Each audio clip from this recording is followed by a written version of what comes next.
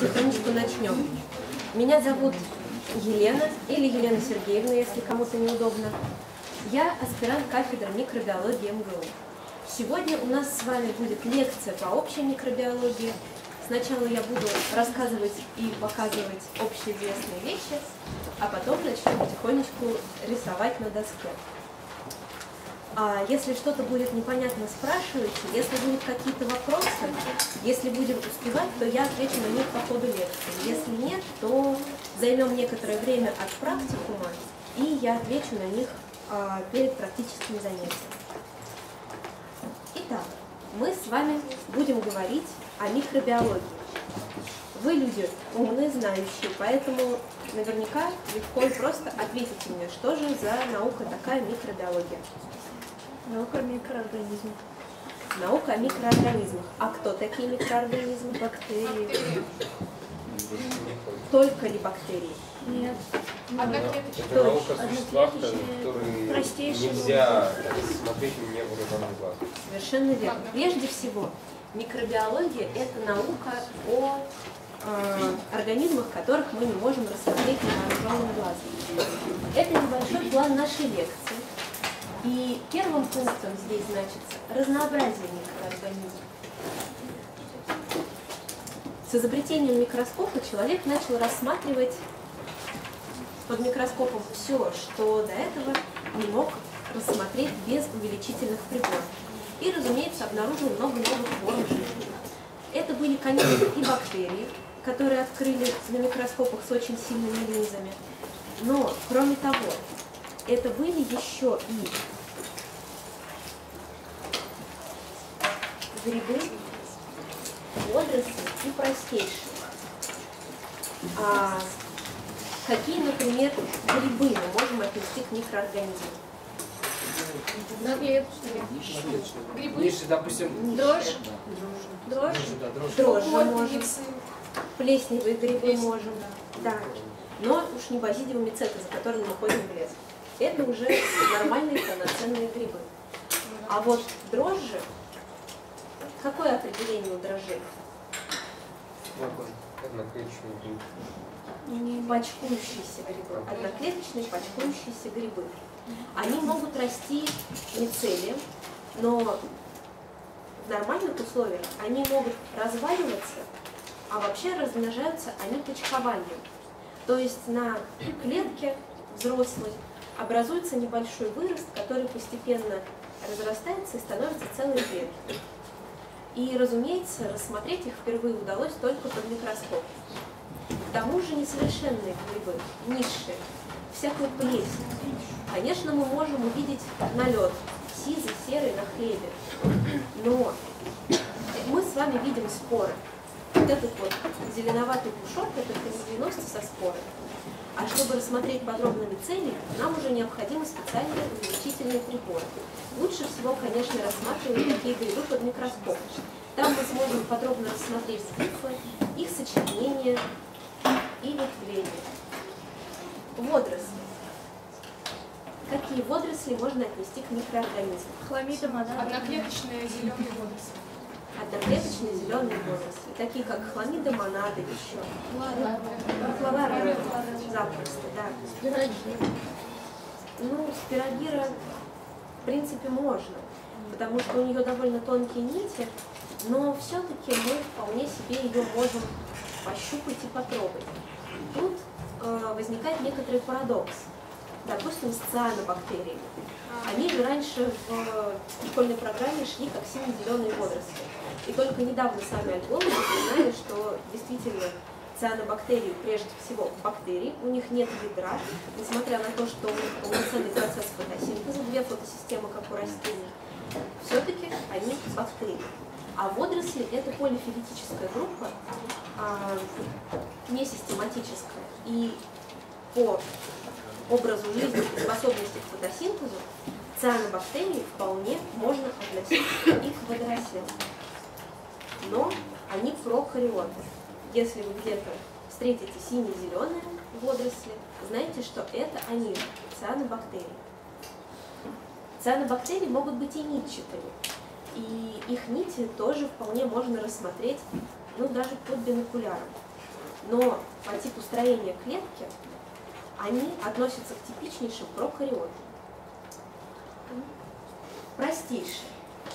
Ну, с простейшими, наверное, гораздо проще, потому что какая-нибудь амеба невидима невооруженным глазом, но сразу становится видимым под микроскопом. И вот этот вот широкий спектр организмов с момента открытия микроскопа изучал человек в таком разделе наук, как микробиология. Конце прошлого века был открыт еще такой домен жизни, как археи. Археи тоже являются прокариотами. Но если их изобразить на дереве жизни, то они гораздо больше родства обнаруживают с эукариотическими клетками, нежели с бактериями. И они считаются переходной формой жизни от бактерий к эукариотам. Извините, а у археев там же у них стенка, это как бы оболочка не, не из фосфолипидов состоит. А, да, из высокомолекулярных спиртов. Да. У них много отличий от а, бактериальных клеток и много сходств с эукариотическими. С эукариотическими клетками их сближает прежде всего а, наличие гистоноподобных белков а, и строение рибосом. 80. А, оно по по плану строения рибосомы очень близки к эукариотическим. У них же еще форма очень различается, прокариотических и эукариотических. И в целом аппарат биосинтеза ближе, а, там даже ферменты, более похожи на эукариотические. И вот поэтому после анализа множества различных параметров обнаружили, что а, есть ряд сходств как с бактериями, так и с эукариотами. А выделить их в отдельную группу удалось только после а, того, как был изобретен анализ 16 СРНК. Потому что до этого, может быть, человек и видел археи, но он никогда не задумывался о том, что это могут быть не бактерии. И действительно, да, другое строение клеточной стенки, клеточных покровов, но вероятно, что этим никто не занимался, потому что археи, большая их часть, приспособилась жить в очень экстремальных местах обитания. Допустим, в каких-нибудь черных курильщиках, а, в горячих гейзерах. Среди архей зафиксирован максимум температуры, при котором могут выживать а, живые организмы на нашей планете. Это 121 градус по Цельсию. Как делают операции неклинцовые? Ну, белков, белка и кислот. А, Там много а, гидрофильных белков, они окружают себя молекулами воды. А также в клетках находится много веществ, которые напоминают криопротектор. То есть там жизнь настолько приспособилась к существованию при высоких температурах, что изменением одной какой-то структуры там не обходится. Они полностью приспособлены к выживанию при высоких температурах. Но, кроме того, археи можно встретить не в экстремальных местах обитания. Просто там их обнаружили и очень заинтересовались, поскольку до этого настолько высокотемпературных организмов еще не находили. У архей тоже есть несколько филумов, и есть мезофильные археи, которые живут в обычной почве. Что очень примечательно, среди архей не найдено ни одного патогенного для человека организма. Это очень приятно. А, к сожалению, об, об обычных бактериях мы этого сказать не можем. Сейчас давайте с вами вспомним строение бактериальной клетки. Здесь, к сожалению, английские надписи, но я думаю, что многие из вас их понимают, но я все равно буду рассказывать, потому что, к сожалению, если вы хотите найти качественные картинки, то в Рунете их искать бесполезно. Проще сразу вбивать свой запрос на английском. Тогда с большей долей вероятности вы найдете адекватные иллюстрации. Бактерии, как главные для нас с вами сегодня представители микроорганизмов, являются прокариотами. То есть они не имеют оформленного ядра. В клетке генетический материал, хромосомная ДНК, представлен одной кольцевой молекулой. Но, как говорится, правила нужны для того, чтобы были исключения. Не у всех бактерий только одна хромосома. Встречаются бактерии с несколькими хромосомами. Если вы занимаетесь каким-то объектом, то вы наверняка знаете, как устроен его генетический аппарат, сколько у него хромосом. Но в общем случае считается, что хромосома только одна. Также генетическими элементами клеток бактерий можно считать плазмиды. Плазмиды – это небольшие кольцевые молекулы ДНК. Они содержат всего несколько генов. 2, 3, 4, 5. Главная функция плазмид – это локализация генов устойчивости к антибиотикам, например, генов патогенности. Есть такая бактерия, как Bacillus subtilis. А есть бактерия Bacillus anthracis, возбудитель сибирской язвы. И возбудители сибирской язвы от обычной сенной палочки отличает а, наличие всего пары генов, локализованных в плазмиде. Пытались перенести эти гены а, в непатогенную бактерию, и выяснилось, что плазмиды с генами патогенности в обычной сенной палочке не приживается. Казалось бы, этот эксперимент а, можно вообразить как ерундовый, но казалось бы, кому может прийти в голову пересаживать болезнетворные гены в обычную безобидную бациллу. Но это был очень важный эксперимент, поскольку если случайно вдруг где-то у нас в природе заведется бактерия сибирской язвы, не сможет ли она случайно передать своим непатогенным родственникам гены, которые ответственны за развитие патогенной бактерии? Оказывается, нет. Разумеется, если у нас с вами есть генетический материал, то есть и аппарат биосинтеза белка, рибосомы. Рибосомы у прокариот мельче, чем эукариотические.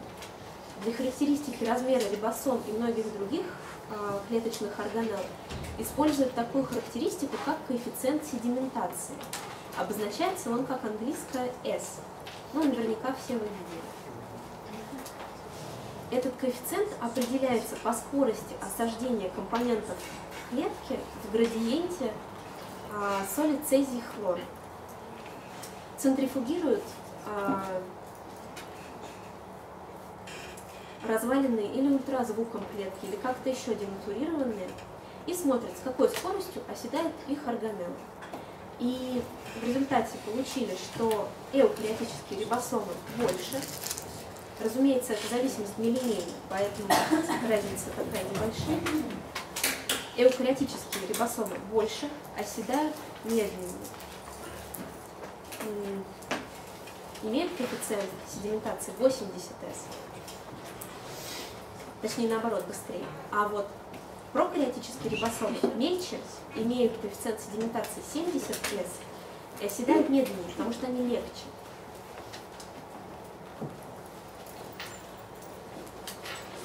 мембрана клетки у бактерий устроена точно так же, как и у всех других живых существ. Это тоже фосфолипиды. А вот клеточная стенка у бактерий состоит из особого полисахарида, который называется муреин. Если где-то в природе обнаруживаются следы муреина, это значит, что а, там присутствуют бактерии, потому что муреин больше, как у бактерий, нигде не встречается. У растений клеточная стенка из целлюлозы, у грибов из хитина, у бактерий из муреина. Собственно, больше никого клеточной стенки нет.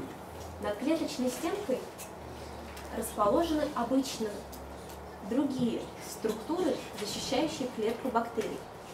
Это капсулы, здесь отмечены голубым.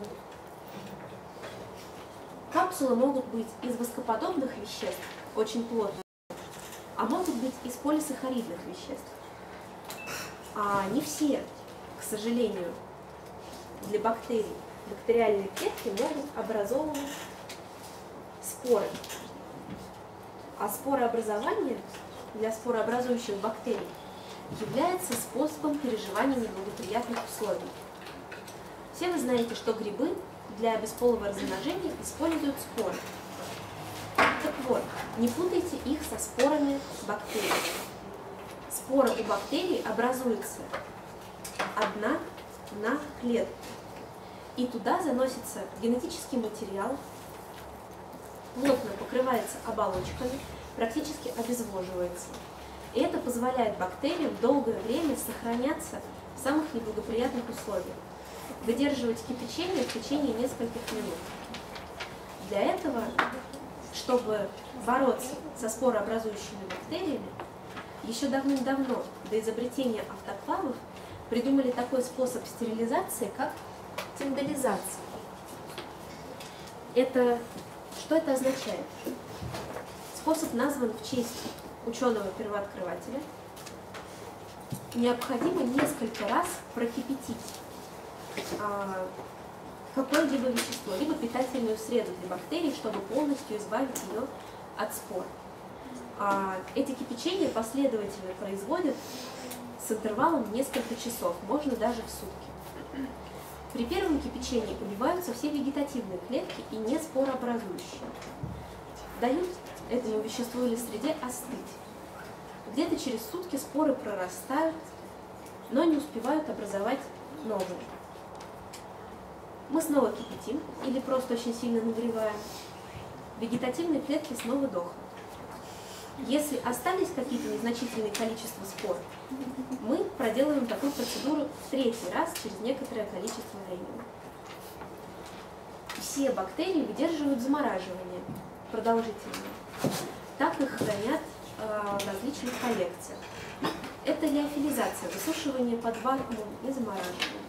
Если клетки микроорганизмов поместить в 50% глицерин и положить в морозилку, то они смогут там вполне храниться несколько лет.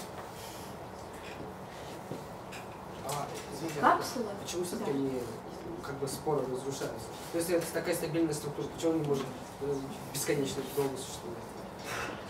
Если на нее не воздействовать очень неблагоприятными а, воздействиями, типа кипячения, а, то, скажем, в вечной мерзлоте спора может храниться тысячи лет. И это никак ее не смущает. Она попадет в нормальные условия и прорастет. А вот при неоднократном кипячении все-таки ее клеточные покровы разрушаются. Обычно в лаборатории для стерилизации сред используют автоклавы. Там нагнетается пар под давлением. А Для этого люди придумали еще такую характеристику, как излишняя атмосфера или ати. И вот вы представляете, в автоклаве, а, помимо того, что пар, еще и лишняя атмосфера.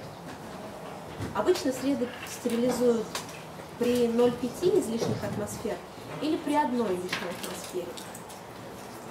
А, При одной атмосфере стерилизуют среды, не содержащие сахаров, потому что сахара и различные полимеры, такие как крахмал, при таких жестких условиях могут карамелизоваться или просто разваливаться. И тогда среда уже не будет иметь таких свойств, как подразумевалось изначально. И споры тоже погибают при таких э, экстремальных воздействиях. А вот при тендализации скорее споры не погибают, а прорастают в вегетативные клетки. И тут мы убиваем уже вегетативные клетки, которые проросли из этих спор. И не даем им, в свою очередь, образовать новые споры. Да, да, там был вопрос. 22 насчет вот, э, того, что мы автоклавируем бактерии, да, вот с- с- спор бактерий. Мгм. Смотрите, э, спор это по сути такая белковая оболочка, правильно? Да. Вот э, они, эта обол- оболочка разрушается еще денатурация белка, да, при высокой температуре? Правильно? А, ну там не только белок, скажем Да, так. там еще и липиды. Да. И за счет именно вот, э, повышения температуры белок разрушается. Ну, ну, я не знаю, что происходит с липидами, э, Ну, значительный а, плюс спор для сохранения в небл- в неблагоприятных условиях то, что они полностью обезвожены. И вот такие вот а, воздействия способствуют тому, что оболочки даже не столько денатурируют, сколько даже могут растрескиваться. Вот. И, а, собственно, внутри спора находится генетический материал, который повреждается при растрескивании этих оболочек. Вот. Капсулы. Они могут быть воскоподобными, могут быть полисахаридными. Но в целом для неспорообразующих бактерий они играют значительную роль, потому что предотвращают обезвоживание бактериальных клеток. Все бактерии предпочитают жить там, где влажно. Есть, конечно, экстремалы, которые предпочитают очень соленые водоемы, и там уже вмешивается такой показатель, как активность воды. И поэтому можно считать, что в очень соленых водоемах доступной воды для бактерий мало. Но э, обезвоживание бактерий для неспорообразующих клеток губительно. Поэтому появляются капсулы. Капсула также может быть фактором патогенности. Допустим, у туберкулезной палочки, у микобактерий, капсула из воскоподобных веществ. И вредоносным действием на организм человека обладает как раз материал капсулы, те липиды, из которых и воска, из которых она сложена. Капсула, прикрепляясь к клетке человека, вызывает некроз. И из-за этой капсулы антибиотики очень плохо проникают внутрь. Полисахаридные капсулы прежде всего несут в себе защиту от пересыхания. В природе очень редко какие-то бактерии существуют изолированно. Вот так вот по одной абстрактной бактериальной клетке. Они предпочитают куда-нибудь прикрепляться или образовывать так называемые биопленки. Фактически все бактерии в природе живут в форме биопленок. Недавно человек столкнулся с биопленками и в медицине. Оказалось, что это очень большая проблема, потому что такими биопленками обрастают различные протезы в организме человека. Бактерии каким-либо образом попадают или в кровоток, или заносятся на этот протез и начинают его обрастать. Они покрываются полисахаридным матриксом, котором а, находятся все клетки. Периодически из этого общего матрикса выделяются клетки, одиночные, которые идут на поиски лучшей жизни, на поиски нового места обитания. Также в этом матриксе имеются специальные клетки персистеры, как их называют. Они имеют замедленный метаболизм и могут э, в этом матриксе переживать воздействие антибиотиков. Это еще кроме того, что сам полисахаридный матрикс, в котором находятся бактерии биопленки, сам очень плохо пропускает внутрь антибиотики. Поэтому сейчас в медицине огромная проблема борьбы с биопленками. Сейчас даже выявлено, что антибиотики в низких концентрациях стимулируют рост этих биопленок. Механизм еще не ясен, но такие факты есть. Что еще есть в нашей бактериальной клетке? Ну, цитоплазма это понятно. Имеются жгутики. Если где-то попадется вопрос, вращаются жгутики у бактерий против часовой стрелки. И вращение осуществляется за счет того, что механизм вращательный закреплен в цитоплазматической мембране и прокачивает протоны снаружи клетки внутрь. Жгутик вращается против часовой стрелки. Имеется также... также... вопрос, а против часовых, когда мы смотрим ей свет или когда она смотрит на нас? Когда мы смотрим ей вслед. Ну, таких уточнений я еще ни в одном вопросе не встречала. Да. Ну, как это ну, непонятно. С одной стороны, ну, Но когда мы смотрим на него сверху, грубо говоря. То есть, когда она плывет от нас. Еще имеются пили или фингеры. Это небольшие белковые выросты. При помощи этих структур бактериальная клетка заякоривается на субстрате, то есть прикрепляется.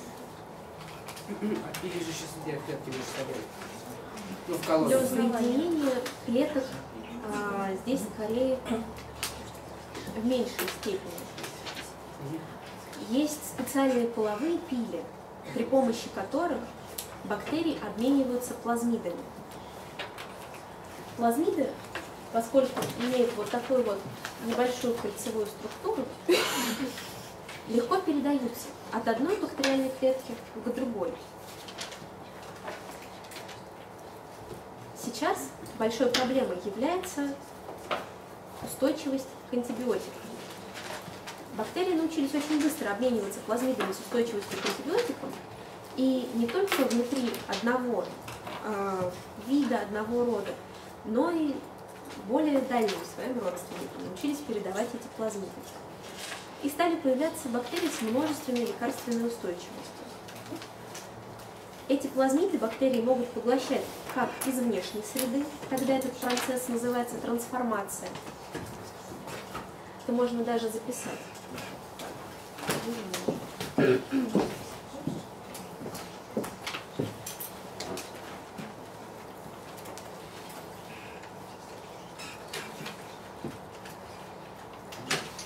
Способы переноса генетического материала в бактерии.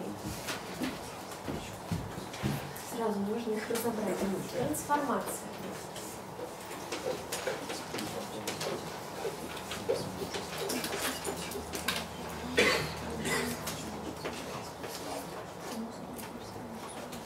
Это поглощение плазмид или кусков хромосомной ДНК из окружающей среды.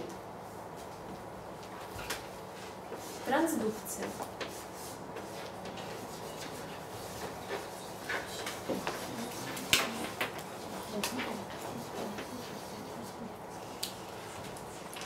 Процесс поглощения плазмид откуда там? Трансформация. Процесс поглощения генетического материала а, из внешней среды. Это может быть как плазмидная ДНК, так и хромосомная, небольшие куски. Если это плазмида, она просто проникает в клетку, и в случае, если там оказываются гены, которые могут быть полезны для бактерий, эта плазмида внутри клетки остается. Если это те же самые гены устойчивости к антибиотику, то бактериальная клетка вряд ли захочет их потерять и оставит у себя, особенно если этот антибиотик присутствует в среде. Трансдукция. Это другой вид переноса генетического материала, и осуществляется он при помощи бактериофагов.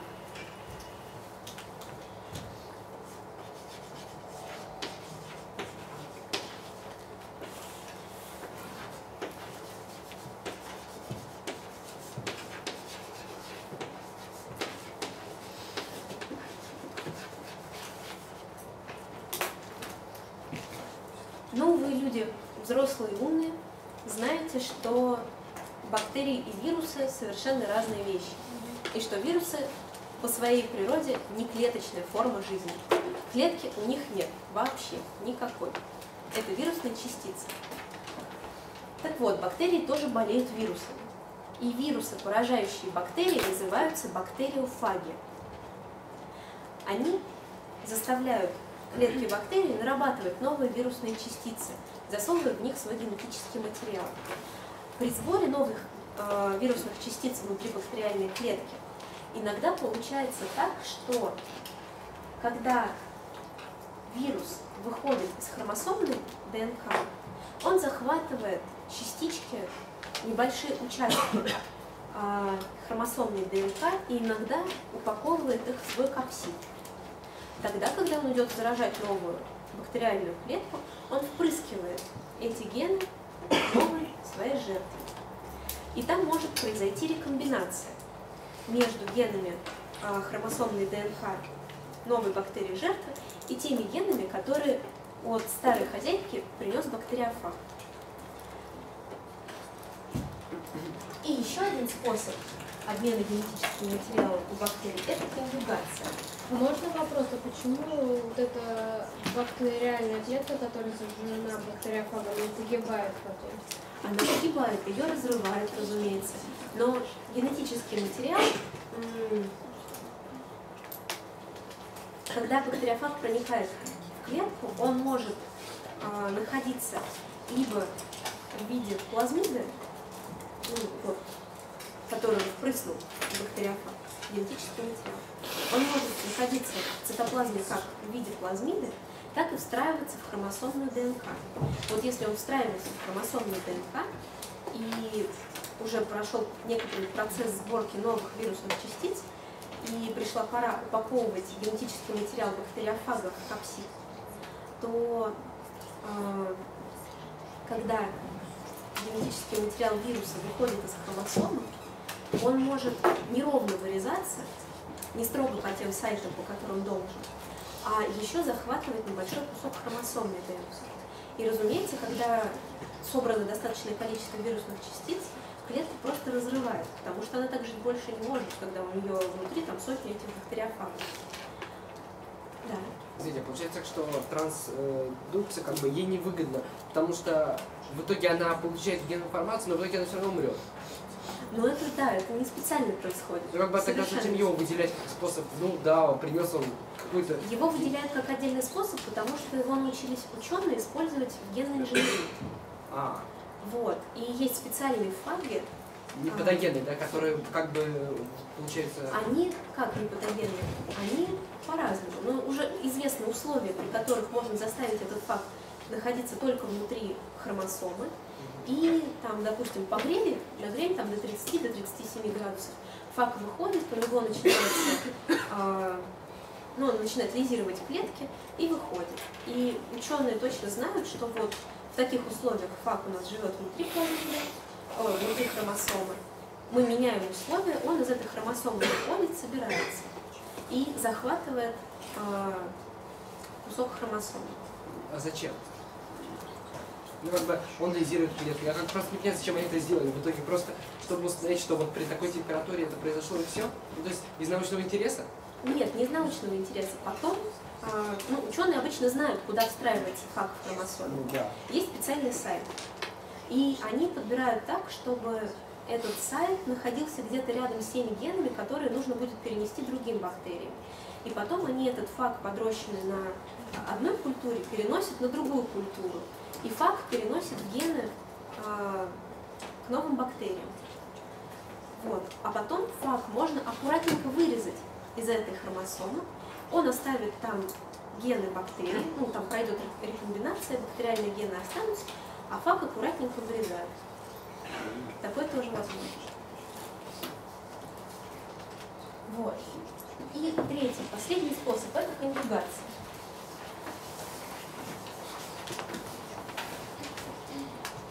Как раз таки конъюгация осуществляется при помощи половых пилей.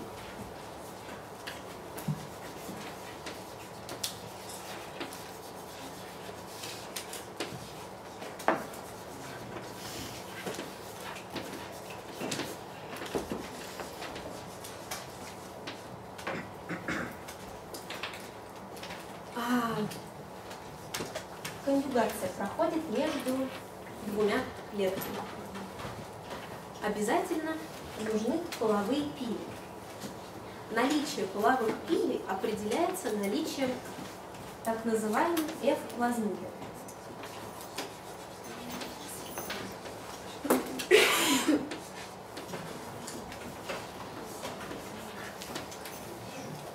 Без F-плазмида половых пилей у клетки быть не может. В конъюгации участвуют две клетки, одна с F-плазмидой, одна ее не имеющая.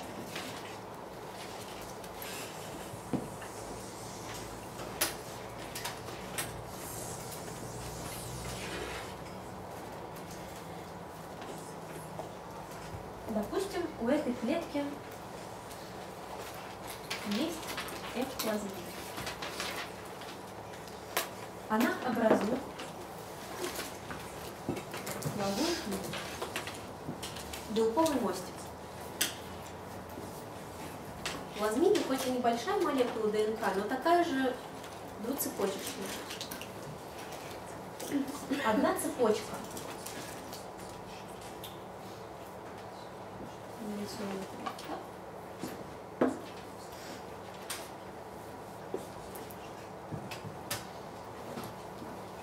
Одна цепочка плазмиды переносится в новую клетку. Эта клетка донор.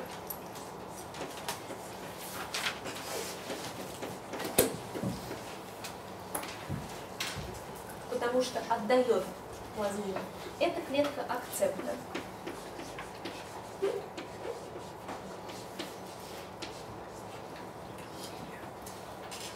Одноцепочечная э, часть плазмида переходит в клетку акцепта и тут же достраивается до двуцепочечной.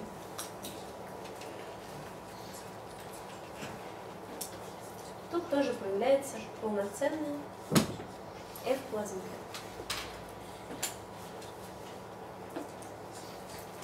Ученые, которые занимаются генной инженерией, тут же догадались подсаживать на эту плазмиду другие гены, также необходимые для получения новых штаммов бактерий,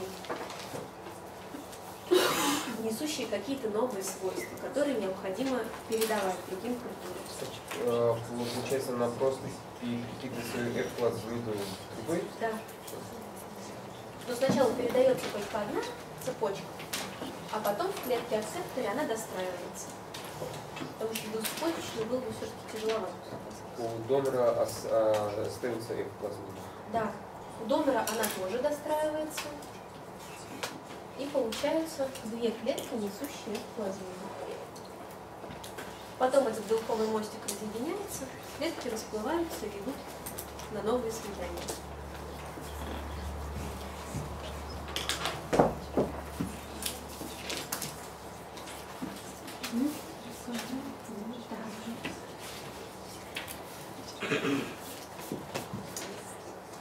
Далее. А, клетки бактерий маленькие, почти прозрачные, если они не являются фотосинтезирующими. Поэтому рассмотреть бактерии можно только под микроскопом. Чтобы бактерии рассмотреть, необходимо сделать микробиологический препарат. Условно препараты бактерий можно разделить на две группы. Это живые препараты и фиксированные. В свою очередь, живые препараты могут быть, как неудивительно, как окрашенные, так и не окрашенные. Мы с вами на практикуме попробуем сделать прижизненную окраску. Но, правда, дрожжевых клеток. Это будет гораздо заметнее. Препарат раздавленная капля все делали? Нет? Препарат раздавленная капля. Делается как? Берется предметное стекло. На него наносятся бактерии. Сверху накрывается предме- э, покровным стеклом.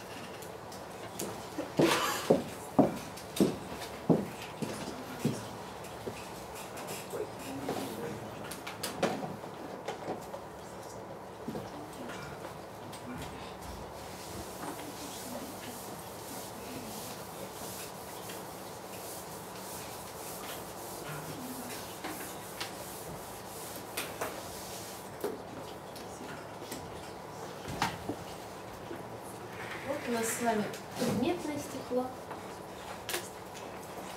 На предметное стекло наносят капельку воды. Конечно, все зависит от того, на чем у нас растут клетки бактерий. Они могут расти в жидкой среде, то есть каплю воды наносить уже не нужно. Можно просто отобрать каплю из культуры бактерий. Или же, если они растут на плотной среде, необходимо сначала нанести каплю воды, потом специальной микробиологической петлей отобрать некоторое количество бактерий и внести их в эту капсулу.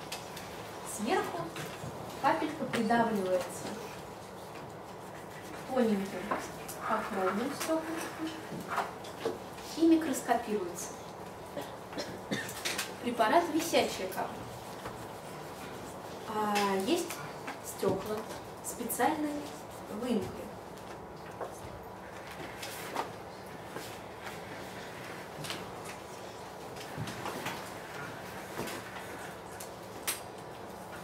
Вот.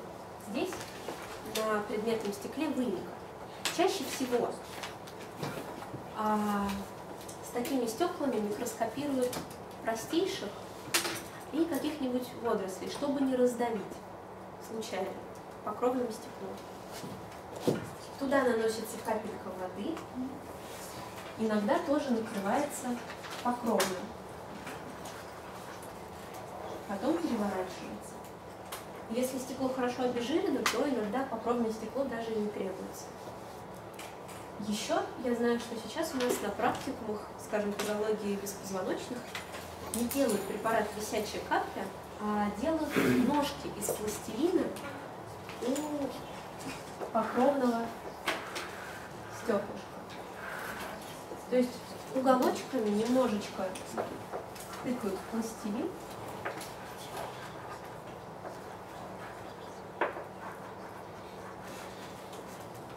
и получается как бы столик.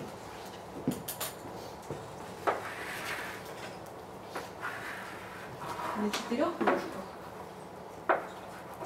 под которым находится капля воды, скажем, тут инфузории или амебы. Для чего это нужно? Чтобы не раздавить объект, который мы смотрим. Бактерии мы не раздавим, а вот амебу или водоросли запросто. Можно повторить про висячую каплю, как сделать все это, ну, чтобы записать. Ну, есть стекла со специальной выемкой. Вот, обычно висячую каплю делают на них. Ну, сейчас это встречается все как бы реже и реже. То есть то же самое, что раздавленная капля, только со своим Да. И как бы вверх тормашками получается. Фиксированные препараты. Почему одни живые, а другие фиксированные? Что значит фиксированные? Уже не живые. Совершенно верно. Фиксированные препараты. А, а, еще про окраску живых препаратов. Иногда капли культуры на предметном стеклышке добавляют немного красителей. Это может быть или метиленовый синий, или какие-то другие красители, немного разведенные. Тогда получается, что а, живые клетки из своей цитоплазмы выкачивают краситель, а мертвые клетки не могут его выкачивать, они уже умерли. Краситель так и остается в цитоплазме. И на биофаке, на микробиологии есть задача в практикуме, на котором ведется подсчет живых и мертвых клеток дрожжей. И именно так это и определяют. Добавляют к дрожжам некоторое количество красителя, ждут примерно 10 минут, а потом считают. Живые клетки краситель выкачивают, смотрится гораздо бледнее, а мертвые клетки приобретают густую насыщенную окраску из-за того, что краситель уже выкачать не могут. А с обычными бактериями делать такое довольно тяжело, потому что если клетки очень мелкие, то мы не рассмотрим как следует. Какие из них там очень темно окрашены, какие светлые, посчитать тоже вряд ли сможем. Вот с дрожжами получается хорошо. Мы с вами такое на практике не делаем. Фиксированный препарат. Простая и сложная окраска. Что это значит? Простая окраска, то есть одним красителем. Грубо говоря, приготовили мазок, налили краситель, подождали минуту, промыли, микроскопировали. Сложная окраска – это окраска по грамму или окраска спор. Есть способы, которые позволяют прокрасить отдельно в один цвет цитоплазму спорообразующих клеток, а другой краситель прокрашивает споры. И получается на самом деле очень красиво. Можно добиться того, что споры будут иметь нежно-голубой, такой небесный цвет, а цитоплазма красную окраску. Но чтобы сделать фиксированный препарат, необходимо правильно сделать мазок.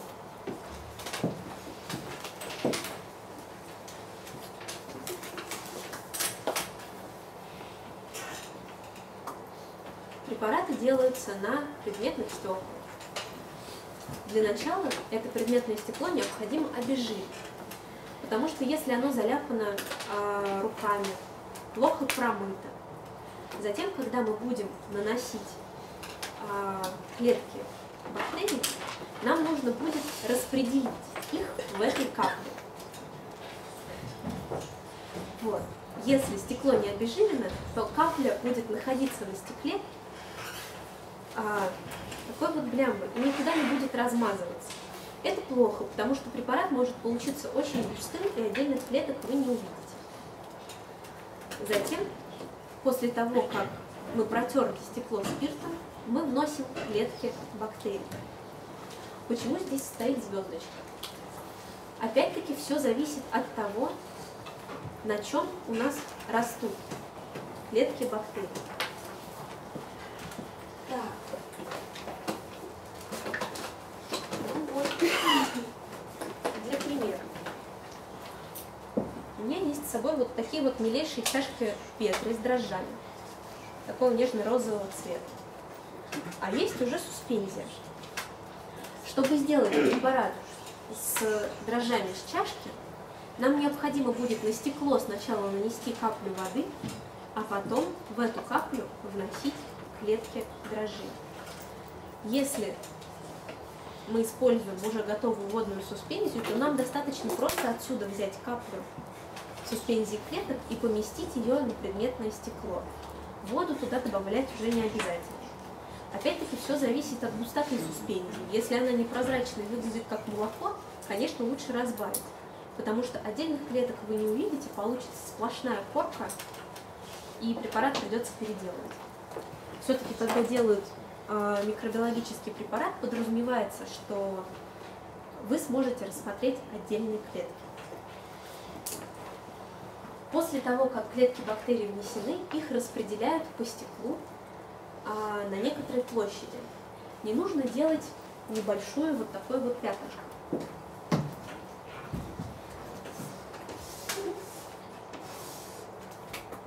Вот так вот делать не надо.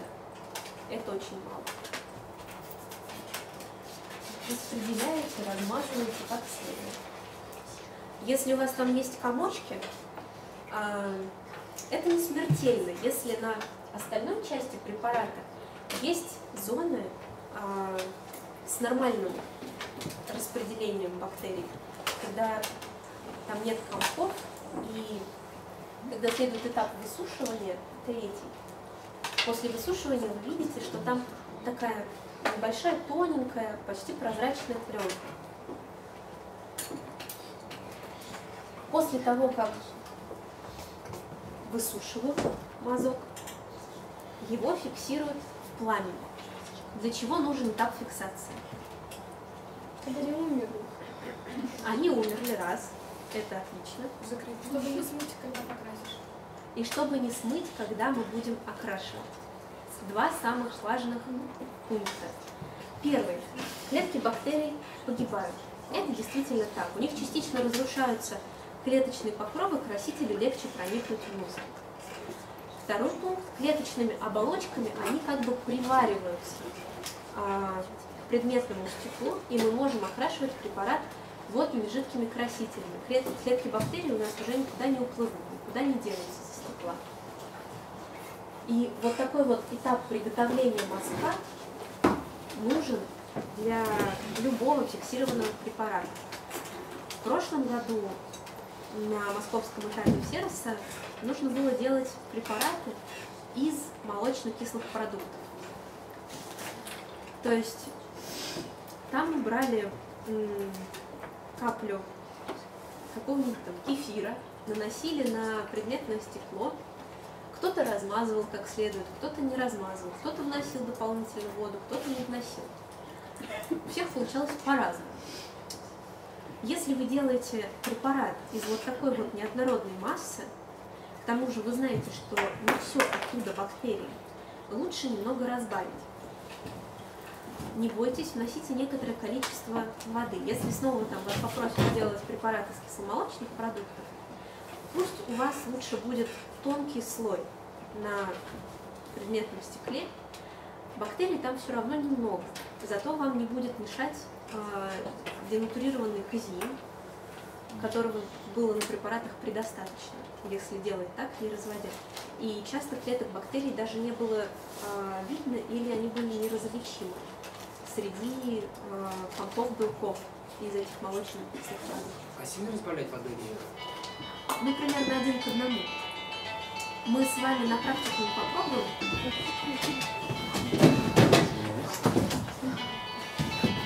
Мы с вами на практике мы попробуем делать свои препараты, и вы сами, потрогав это, поймете, как лучше делать.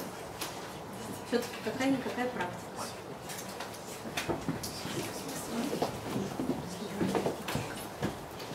После вот приготовления такого мазка можно просто нанести одноцветный краситель, подождать минуту, полторы-две, промыть водой, и вы получите препарат окрашенных бактерий.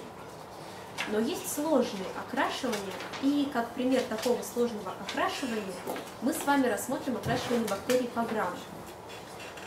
Знать его нужно, очень часто встречается как в тестовых вопросах, так и на практических заданиях. Поэтому давайте разберем. Здесь у нас вот такая вот жуткая картина. Сейчас я все расскажу. Способ окрашивания э, бактерий по грамму был изобретен ученым по фамилии Грамм с одной буквой М. Грамм, не килограмм, не миллиграмм, с одной буквой. М, Не смешите проверяющих потом, это, конечно, забавно, каждый раз встречается, но не надо. В 1884 году Грамм понял, что если окрашивать последовательно бактерии а, двумя контрастными красителями, синим и красным, то одни бактерии приобретают красную окраску, а другие синюю. Тогда он еще не знал, в чем дело, почему так получается, но тем не менее это окрашивание прочно вошло в жизнь и начало использоваться. А во времена Грамма основная систематика бактерий основывалась на их морфотипах. Все представляют себе морфотипы бактерий? Морфотип. Хорошо, давайте вспомним. Ну, круглый, А, в этом плане вы имели? Да, То есть коки, да. Все сейчас еще разберем. период.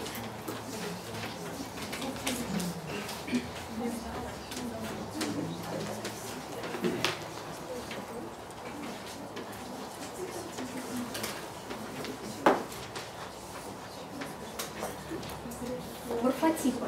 Иногда а, их требуется посчитать. Допустим, перечислите морфотипы, которые вы видите на своем препарате. Очень тяжело перечислять морфотипы, когда вы их не знаете. Согласитесь? Практически невозможно. Так вот, морфотипы – это именно внешние очертания этих бактерий. Они могут быть просто одиночными круглыми койки, кофе.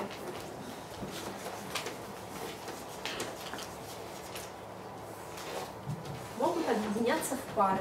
Диплококи. Диплококи.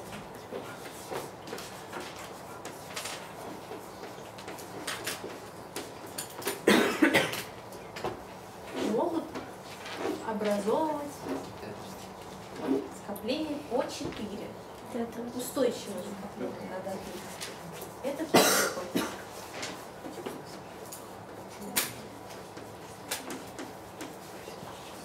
Иногда бывает, когда а, вы находите на своих препаратах как бы и тетракока, но он а, объемный.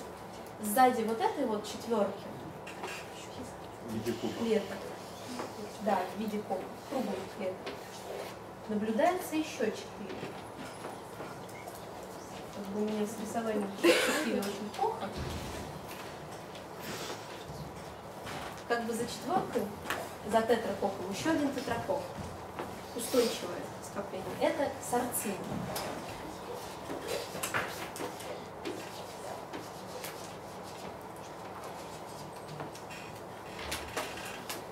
Бывают цепочки из круглых клеток.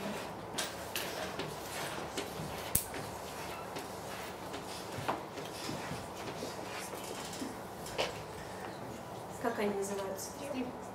Стрептококи.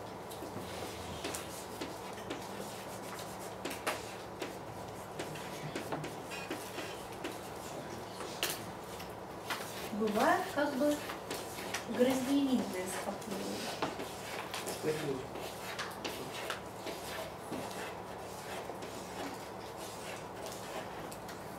Это стафилококи.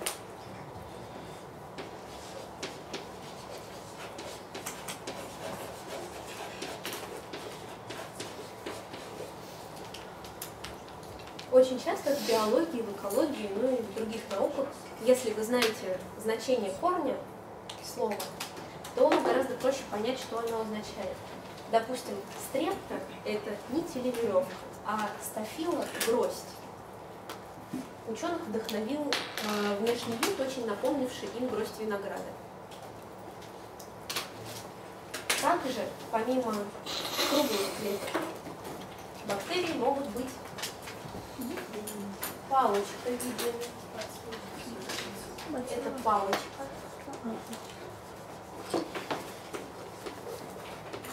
Да, действительно, их можно называть палочки или бациллы. А там же есть Но есть таксон, который называется бациллы, и поэтому иногда вас могут неправильно понять.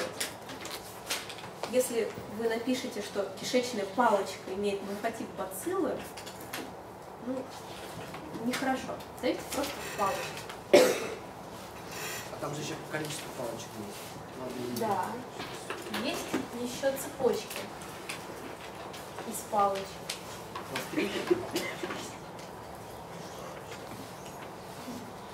По аналогии с стрептококками, их называют стрептобациллы.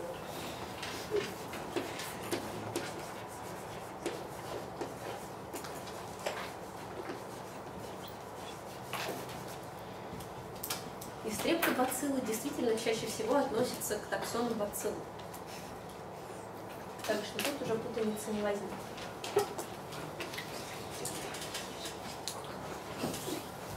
Далее уже более экзотические формы. Допустим,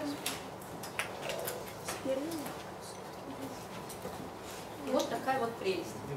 Вибрион. Вибрион. Один из главных мерзких представителей вибрионов – это холерный вибрион, возбудитель холеры.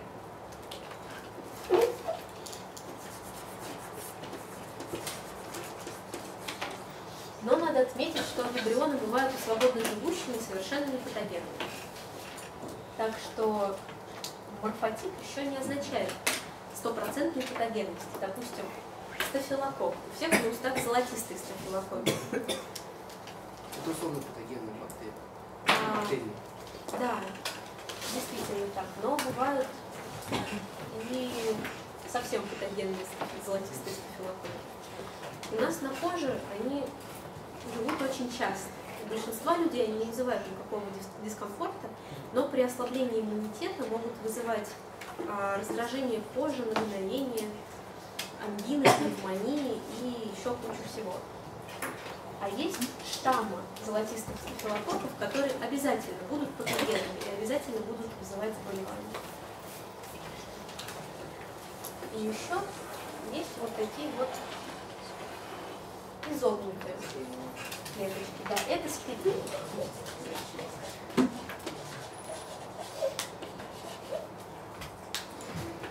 Ну, с основными морфотипами, пожалуй, все. И вот когда Грамм придумал свой способ окрашивания, к тогдашней систематике бактерий добавился еще такой пункт, как окрашивание, тип окрашивания по грамму. Стали выделять грамм-положительные коки, грамм-отрицательные коки, грамм-положительные стафилококки, грамм-отрицательные стафилококки. Это стало еще одним пунктом в классификации бактерий. А, казалось бы, сейчас уже, когда мы знаем множество способов, как с помощью генетических методов точно и быстро идентифицировать бактерии, это окрашивание нам уже не пригодится. Но до сих пор используется окрашивание по грамму. Оно используется в медицине, когда, если больница может себе позволить держать лаборанта, который будет брать мазки у пациентов и окрашивать их, тогда этот лаборант делает свою работу, записывает врачу результат, врач смотрит. Ага, обнаружено, скажем, грамм положительной стафилококки. Уже давным-давно известно, что тот же самый золотистый стафилококк – это грамм положительный стафилококк. Кишечная палочка, синегнойная палочка – это грамм отрицательные палочки. И вот врач видит то, что пишет лаборант, и думает, «Мгм, значит, надо пациенту выписать антибиотики там, против грамм-положительных бактерий или против грамм-отрицательных. Потому что антибиотики тоже бывают разными, и у них есть свой приоритетный спектр действия. Если вы почитаете описание к самым распространенным антибиотикам, там будет написано активен в отношении грамм-положительных каких-то форм и в меньшей степени против грамм-отрицательных или наоборот. Приоритетный спектр действия – это грамм-отрицательные бактерии. Врачу это помогает сэкономить время и бить по возбудителю заболевания гораздо точнее. Потому что если назначить сразу антибиотик очень широкого спектра действия, который будет убивать а, все бактерии, то можно довести своего пациента до очень сильного дисбактериоза, от которого он будет, вероятно, лечиться даже дольше, чем от самого заболевания. Иногда в молекулярно-биологических лабораториях, которые работают, скажем, с кишечной палочкой, прибегают к окрашиванию бактерий по грамму. Даже вот на моей практике было, когда к нам пришли молекулярщики и начали говорить, вот мы работали с кишечной палочкой, у нас открытие, мы получили из палочек коки. Ребят, давайте покрасим их по грамму. Упс, они грамм положительные. Ребята, ваши кишечные палочки давно нет. Вы знаете об этом. Они очень расстроились. В процессе пересевов заразили культуру и кишечную палочку забили какие-то невнятные коки. Вот. Пришлось доставать кишечную палочку из закладок и переделывать много-много экспериментов. Но иногда действительно бывает, что в процессе некоторых генетических манипуляций кишечные палочки теряют или клеточную стенку и ну, действительно становятся более похожими на небольших коков. Да. А, антибиотики, они, собственно, действуют как медицине, они действуют на клеточную стенку бактерий и не Да. им размножаться, правильно? Да. А вот именно время размножения они не дают им а, завершить процесс размножения, деления. Вот. И окрашивание по грамму, оно, собственно, влияет на клеточную стенку, правильно? Оно, оно же а, определенный вот этот цвет окрашивает определенную клеточную стенку. Так вот, я хотел сказать, есть, есть прямая взаимосвязь. Вы сказали, есть а, антибиотик, который действует на грамм положительных, допустим, бактерий. То есть э, есть определенная взаимосвязь да, с цветом, который Ну, это даже не цвет. Я сейчас расскажу про устройство а, клеточных покровов грамм-положительных и грамм-отрицательных бактерий, станет, может быть, понятнее. Есть антибиотики, у которых разный тип действия. Какие-то влияют на клеточную стенку, как пенициллин тот же самый. Он не дает строиться мурыни, просто прерывает этот процесс. Действительно, большая часть антибиотиков, да практически все они, влияют только на растущие клетки. Если культура не растет, на нее очень тяжело подействовать антибиотиками. В этом проблема вот этих клеток-персистеров в биопленках. У них очень замедлен процесс метаболизма, и антибиотики на них практически не действуют. Есть антибиотики, которые встраиваются в цитоплазматическую мембрану и фактически делают там огромные дыры, и клетка вытекает. Есть антибиотики, которые связываются с рибосомными частицами и блокируют процесс биосинтеза белка. Но если процесс биосинтеза белка в растущей клетке не идет, она тоже погибает. Вот. Когда Грамм придумал свое окрашивание, он не знал, почему возникает такая разница в цвете у бактерий. Потом, уже много лет спустя, с развитием цитологии и науки о клетке, стало понятно, что все это происходит из-за того, что клетки бактерий имеют разное строение наружных клеточных покровов. Вот здесь, правда, может быть не очень заметно, внутри клеточки показаны, вот она как бы такая сине-фиолетовая, здесь красненькая. Соответственно, бактерии, которые окрашиваются в синий цвет, это грамм-положительные,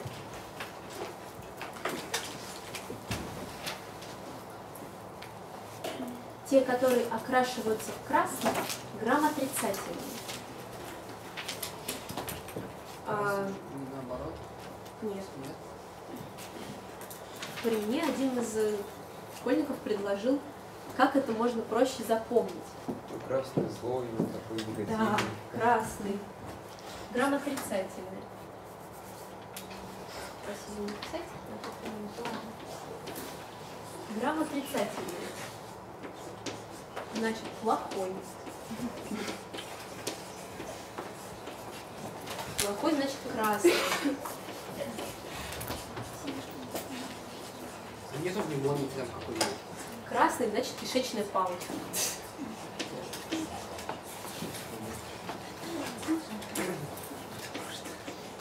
Ребенку будет 10 лет. Действительно, самым э, ярким представителем грамотрицательных клеток, грамотрицательных бактерий является кишечная палочка. Поэтому даже если вы вдруг там запутались, забыли, вот такая вот цепочка кажется довольно убедительной, чтобы запомнить, кто есть кто. Грамположительные бактерии имеют плотную клеточную стенку.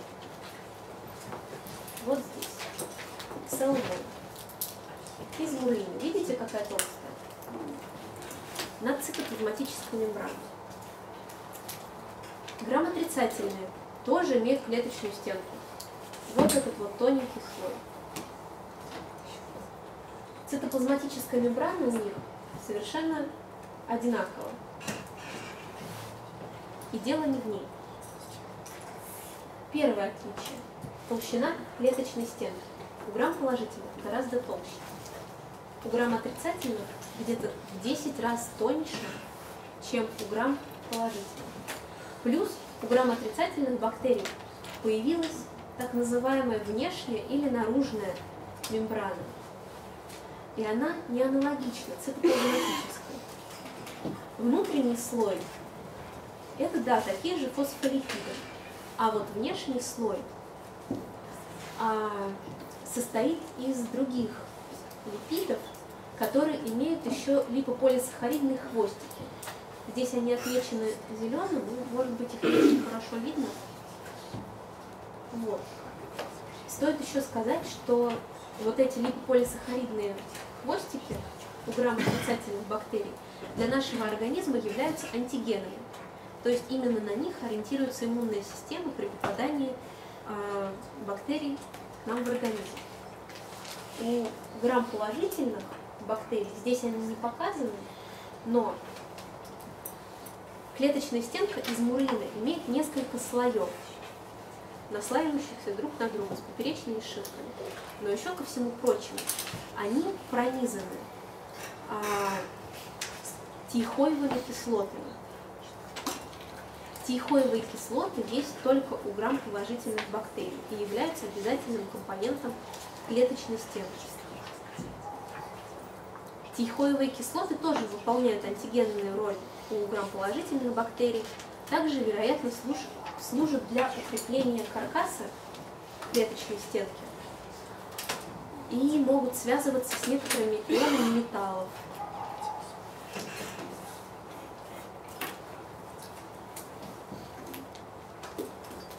Как мы окрашиваем бактерии по грамму? Сначала следует этап окрашивания таким красителем, как генциановый фиолет.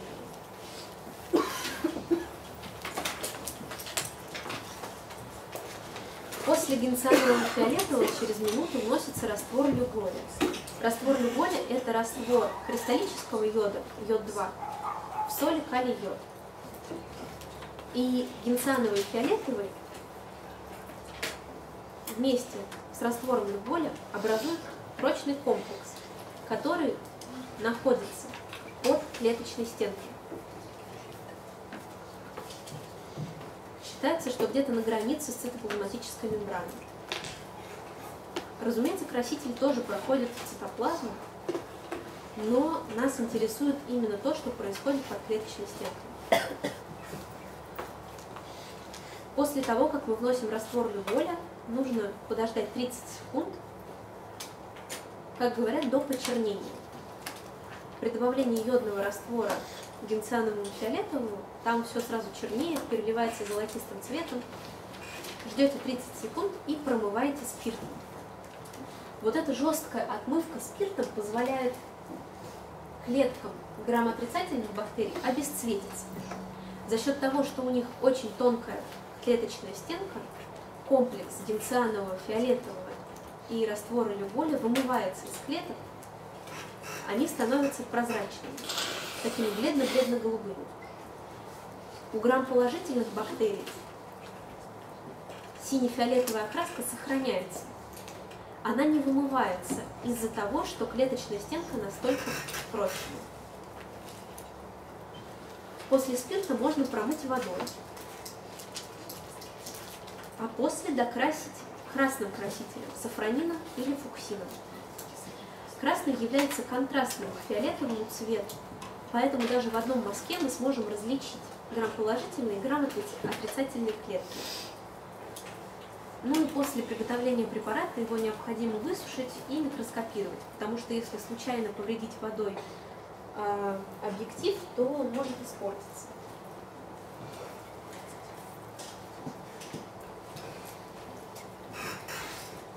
Так вот, уже на этапе промывания спиртом, если препарат сделан правильно, если культура нормальная, можно сказать, где у вас находятся грамположительные бактерии. Они будут иметь насыщенный синий цвет. Грамм отрицательный обесцвечиваются. И потом, именно чтобы их увидеть, мы докрашиваем красным цветом. Потому что часто говорят, что ну вот почему грамм положительный, спрашиваю я, окрашиваются там а, в синий, а грамм отрицательный в красный. Тут начинается поток мыслей. Они не докрашиваются, перекрашиваются, не пускают в себя красители и так далее. Ерунда. Используются два разных красителя. Сами это сделайте еще и запомните. В результате получается вот именно такая картина. Красные грамм положительные и синие, или скорее даже у нас с вами будут черные. Ой, красные грамм отрицательные и синие грамм положительные. У нас с вами они будут более черного такого цвета, потому что это сделано, во-первых, на хорошем микроскопе, и интенсивность цвета, который идет, она достаточна для того, чтобы он полностью пробил клетку, а на тех микроскопах, с которыми мы с вами будем работать, а, лампа недостаточно сильная, чтобы вот мы увидели настолько красивую картину. И еще раз. Грамм положительный. Плотная клеточная стенка. Комплекс генцианового фиолетового и растворной боли не вымывается наружу спиртом. Грамм отрицательный. Клеточная стенка тонкая. Генциановый фиолетовый раствор люголя выходит при промывании клетки спиртом. И чтобы их увидеть, мы докрашиваем красным. Поэтому они окрашиваются в красный. Грамположительным клеткам уже не страшно, потому что они приобрели насыщенную окраску. Единственное, что может поменяться, это ну разве что оттенок. Из синих они станут там сине-фиолетовыми но глобально в окраске ничего не изменится. Далее мы с вами переходим к такому вопросу, как отношение бактерий к различным физико-химическим факторам. Это сугубо, ну, как бы я сказала, надуманные понятия, которые характеризуют то, что реально происходит в природе.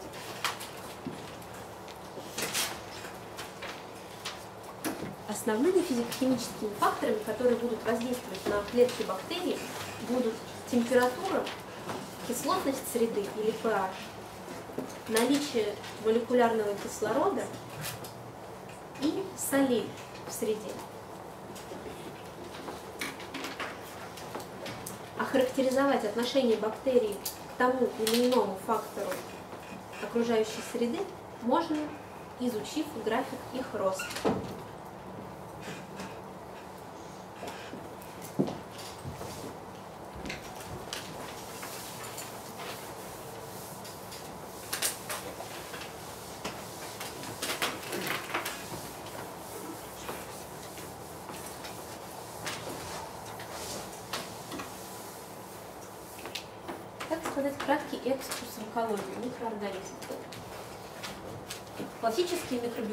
Которые занимаются физиологией роста.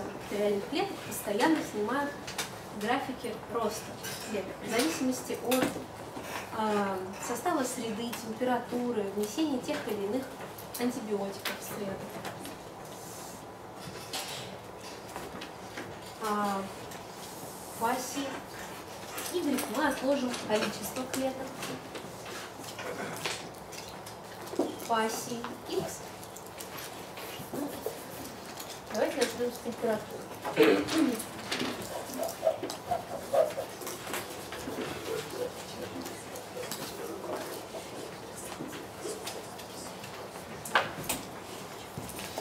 Есть бактерии разных групп по отношению к температуре, но для всех для них можно изобразить простейший график. При определенных температурах, недостаточно высоких, они вообще могут не расти. И там кривая роста у нас будет просто на нуле. Потом в какой-то момент они начинают расти. Значит, тут растут, растут. Достигают некоторых оптимальных значений температуры. А потом при последующем повышении температуры количество бактериальных клеток идет на спад. Иногда это бывает плавный спад, иногда более резкий. В любом случае у нас для любого фактора будет некоторая область оптимума,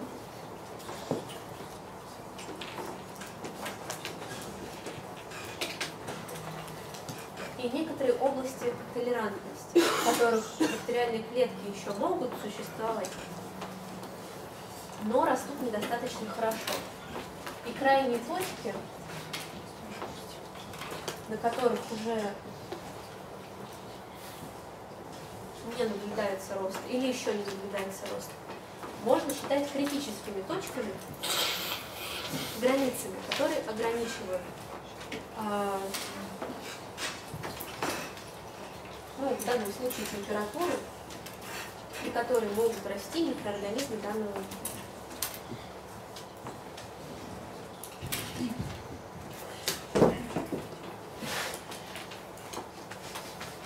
Иногда по оси x,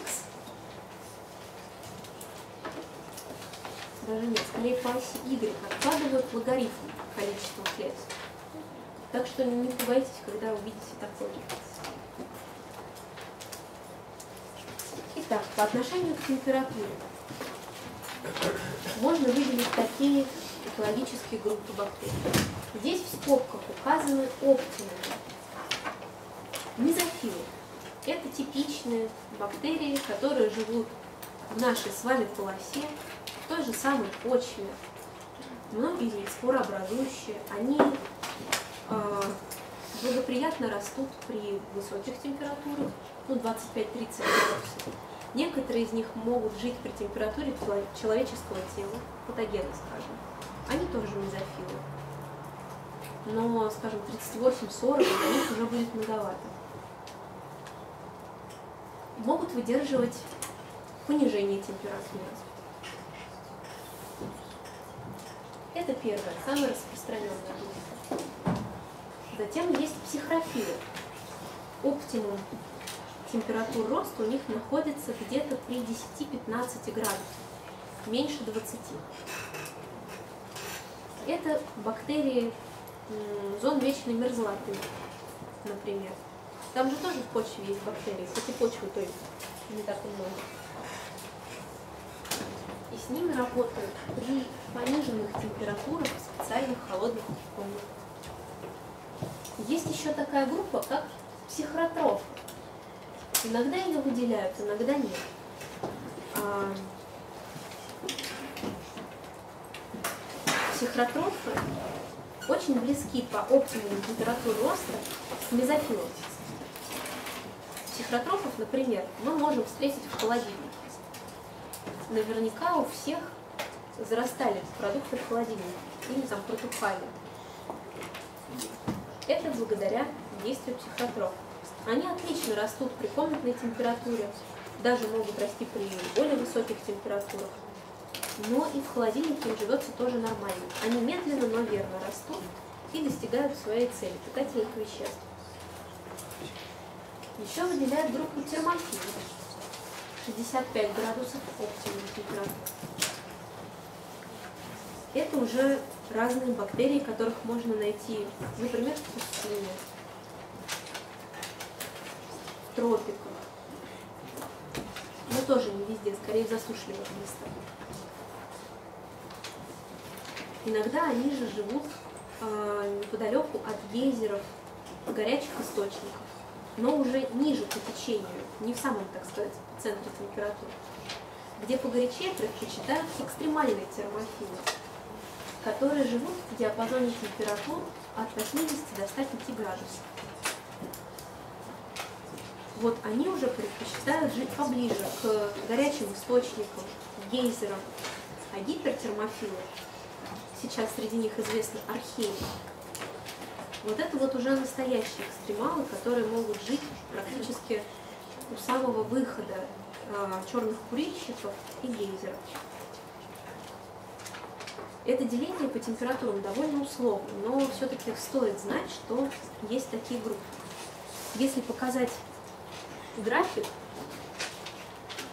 вот примерно такой, здесь не все группы представлены, но вы можете видеть, что у них очень часто перекрываются границы, при которых они могут расти. Так что, опять же, какой-нибудь психорофил может перекликаться с мезофилом, вот скажем, в этой области. Психоротроф вряд ли пересечется с термофилами, но, тем не менее, они могут расти при близких температурах. Это чтобы вы представляли, что вот это разделение условно. Нельзя четко сказать, что вот он именно там мезофил. По отношению к pH среды. Здесь уже можно быть точнее. Нейтрофилы, которые предпочитают нейтральные условия pH от 6 до 8. Ацидофилы это pH меньше 6 соответственно. И алкалифилы, любители щелочных условий, живут при температуре при pH где-то от 8 от 8 с половиной. Очень часто алкалифилы сочетают в себе свойства а, устойчивости к повышенным содержаниям соли в среде. Примерами ацидофилов могут являться молочно-кислые, уксусно-кислые бактерии. А, молочно-кислые бактерии, почему так называются? Они по ходу своей жизнедеятельности выделяют кислоты, сплашивают молоко и подкисляют среду обитания. То есть pH кисломолочных продуктов кислый. В прошлом году на Олимпиаде у меня тоже был мальчик, который сделал все задания, сделал этот несчастный препарат из кефира, не зажарил его, все увидел, что нужно. Но нужно было померить pH. Вот. И там был индикатор бромтимоловый. Мальчик все сделал, у него все получилось очень красиво. А время уже исходит, мы как бы торопим ребят. Я говорю, ну вот смотри, у тебя что получается? Ну вот pH. Ну, хорошо, pH. По цвету индикатора он какой? Кислый. Хорошо, значит, что делают молочно-кислые бактерии? Мальчик берет и пишет, молочно-кислые бактерии защелачивают среду. Вот. Так что бывает. Молочно-кислые. Именно поэтому кислые закисляют. Ацидофилы. Молочно-кислые уксусные основные группы.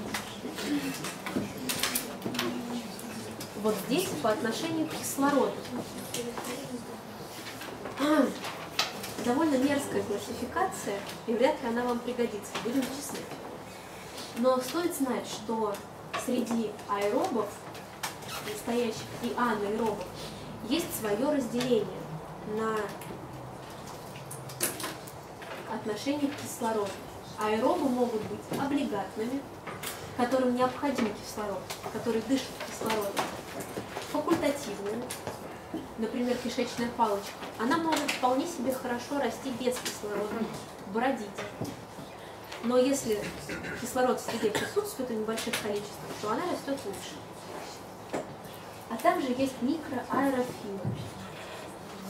А, допустим, бактерии, которые живут где-то в гнилостных местах, где есть достаточное количество органики, которые они могут а, в одно время спраживать, в другое время просто дышать аэробно. Им уже кислород нужен в небольших количествах для поддержания процесса аэробного движения. А анаэробы делят в свою очередь на две группы. Это аэротолерантные организмы. Аэротолерантным анаэроба а кислород не очень сильно вредит, если он присутствует в среде. Никак не стимулирует рост, но и не угнетает. А вот облигатные анаэробы очень плохо относятся к кислороду. Кислород для них губителен. Почему это происходит? У них могут быть не развиты системы антиокислительной защиты, или же могут быть ферменты, которые э, выходят из строя при попадании кислорода в среду. Допустим, азот-фиксирующие бактерии. Фермент, который осуществляет фиксацию азота, нитрогеназа, имеет в составе а, металл, который при контакте с кислородом окисляется, фермент выходит из строя, клетка бактерий погибает.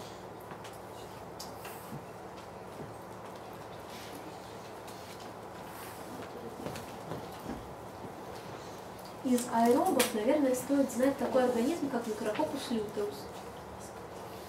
Кстати, мы его с вами будем использовать при окрашивании программы как одну из тест-культур. Грамм положительный. И как безвредная бактерия, наверняка он часто встречается а, не только у нас на биофаке в качестве объекта для олимпиадника, но и в других местах. Он является типичной бактерией с кожи, поэтому выделить его не составляет труда. Ну вот. И последнее по отношению к солености среды. Выделяют несколько групп.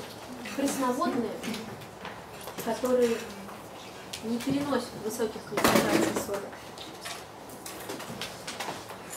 Галотолерантные, которые, ну, например, почвенные обитатели, могут выдерживать изменения солености среды довольно а, широких пределах. Морские, они уже не выносят широких колебаний солености и существуют в диапазоне от 2,5 до 5% натрий хлора в среде. Умеренные галофилы – это 5-15% натрий хлора. Экстремальные галофилы – практически до насыщения раствора содием. И такая группа, как галоалкалифилы – это бактерии содовых озер, Содовые озера сочетают в себе, во-первых, очень высокие значения pH, чуть ли не до 10, а то и больше, и значительное количество соли. И, тем не менее, бактерии могут там расти. И среди таких бактерий имеются и цианобактерии, фотосинтезирующие, которые часто составляют даже основу а, биома таких содовых озер, потому что они образуют биомассу, фиксируют азот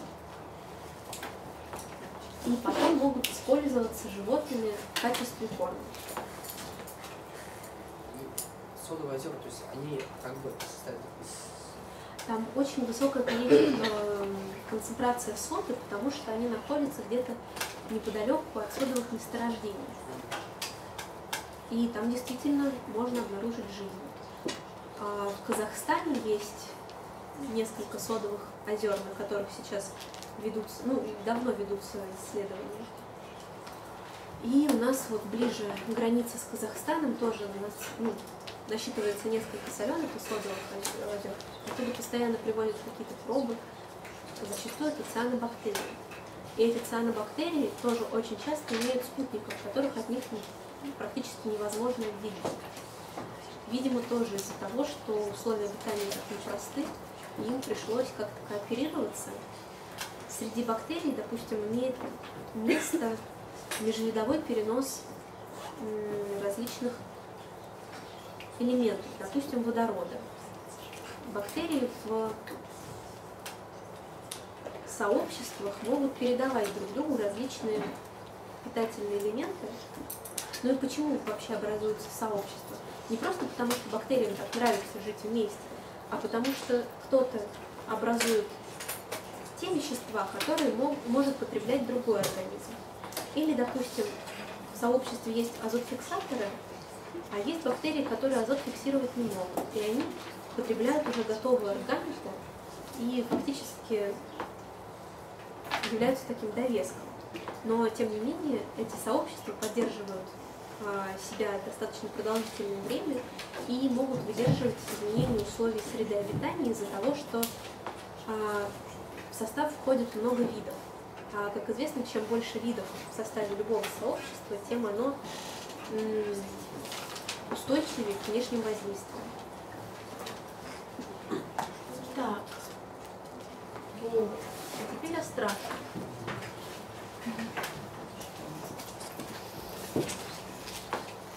Мы с вами сейчас потрогаем метаболизм.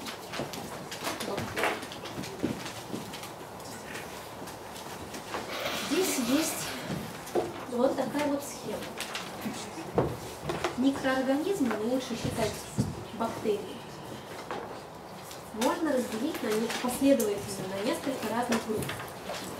Прежде всего на фототрофов и хемотроф по способу получения энергии. Затем добавляется автотрофия или гетеротрофия. Это уже по способу получения углерода. Соответственно, автотрофы получают углерод из СО2, то есть фиксируют углекислоту, а гетеротрофы потребляют готовые органические вещества. Вот эта фототрофия или хемотрофия – это то, что заставляет фактически бежать электрона по электрон-транспортной цепи. И затем следующее разделение на литотрофы и органотрофы. Да, страшно. Литотрофы окисляют неорганику, а органотрофы окисляют органику.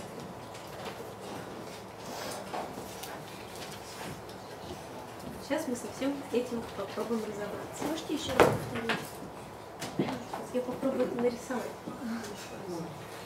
Сколько видов трофи, да? Есть такая упрощенная схема.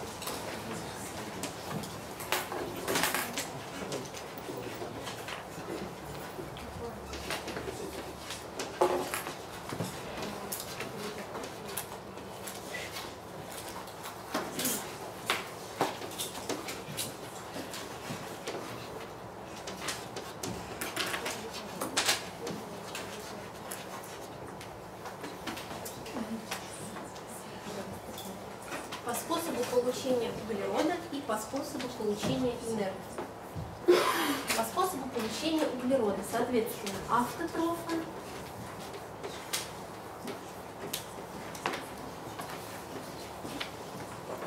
и гетеротрофы.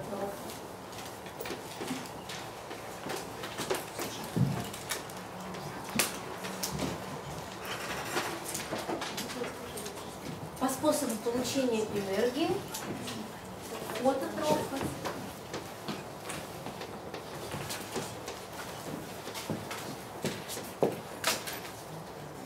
и хемотрофы.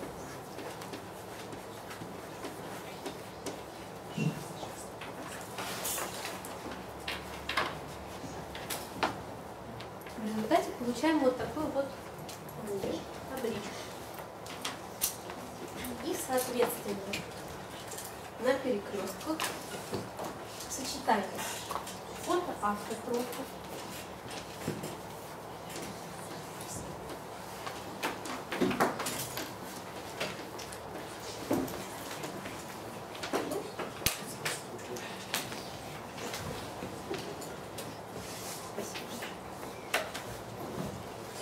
фотогетеротрофы,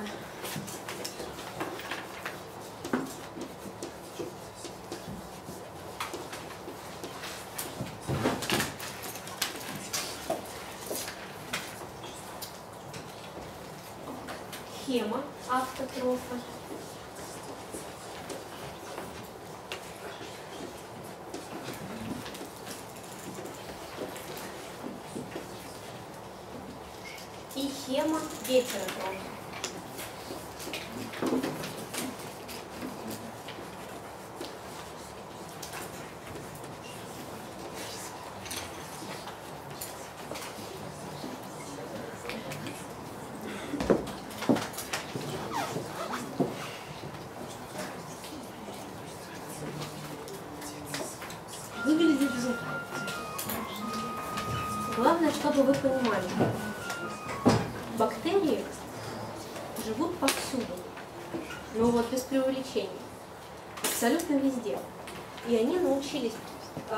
приспосабливаться к самым разным условиям среды, к самым а, разным элементам в среде. Поэтому четко разделить их на тех же самых автотроф и гетеротроф невозможно. Многие фототрофы, какие-нибудь зеленые бактерии, казалось бы, зеленые бактерии фотосинтезируют, все хорошо. Или нет, цианобактерии, еще лучше. У них две фотосистемы, как и у растений. Предки хлоропластов. Цианобактерии с радостью съедят всю глюкозу из среды. И кто они после этого? Гетеротрофы. Относят их вообще обычно к фотоавтотрофам. И все, вообще практически все бактерии, которых мы считаем автотрофными, если найдут в среде органику, съедят ее не задумываясь. Особенно если эта органика очень легко доступна. Типа той же самой глюкозы, сахароза. Гораздо проще органику получить извне, чем фиксировать. Фиксировать СО2 бактерии могут, ну, как минимум, семью разными способами. Вам они все не нужны. Но если вы знаете эти способы и даже из других курсов лекций, это очень хорошо, из других предметов. Таким способам фиксации углекислоты можно отнести самый распространенный. Это цикл Кальвина.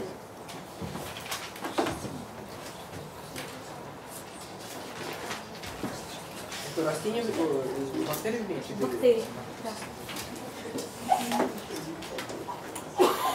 Автотрофная фиксация СО2.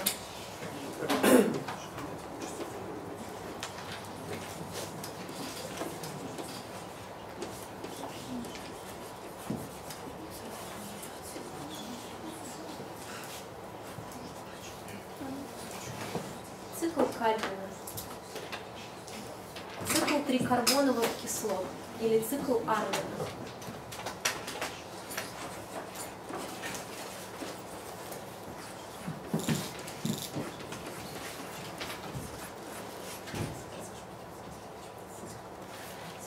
И так называемый ацетил-КоА.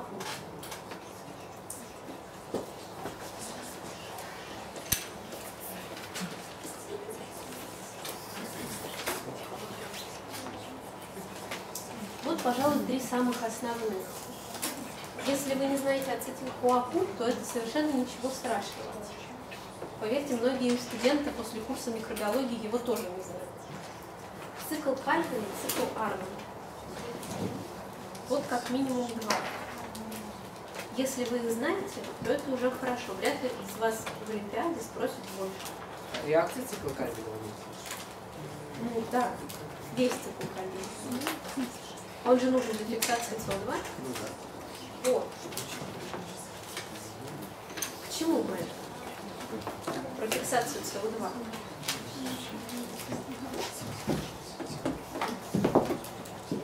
Сейчас я буду показывать страшные картинки.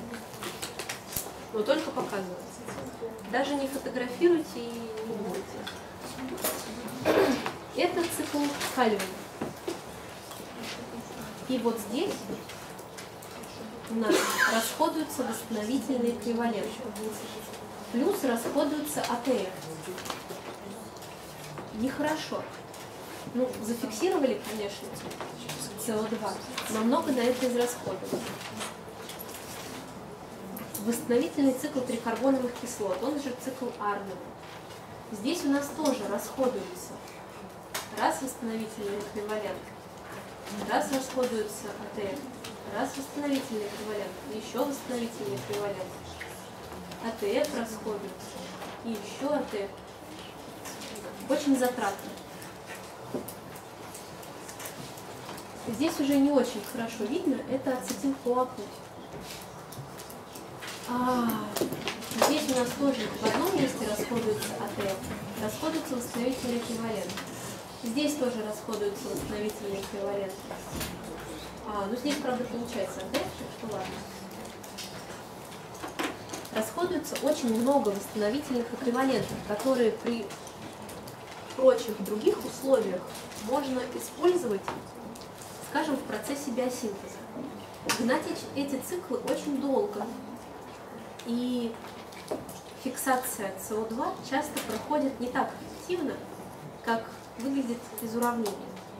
Поэтому все, ну, большая часть тех автотрофов, которых мы считаем, э, привыкли считать автотрофами, на самом деле с радостью съест органику, легко доступно из среды. Это может быть глюкоза, сахароза, другие там моносахариды, ацетат. Не пугайтесь, вот это вот деление на типы питания, оно очень условное. У бактерий оно условно как никогда.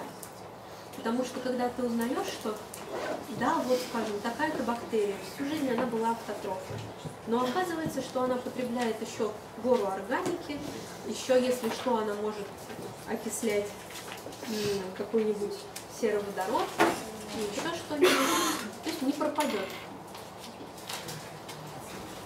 Но в условиях, когда в среде органики нет, они действительно фиксируют СО2. Иногда бывает, что у каких-то автотрофов, в силу того, что они уже достаточно долгое время обитают в неизменных условиях среды, куда органика просто не попадает, просто э, из генома элиминируются гены, ответственные за образование транспортеров для органики. Такое тоже бывает. И вот такие автотрофы являются истинными автотрофами. даже если органику в среду добавить, они ее не смогут никак потребить, потому что просто в клетку пронести не смогут.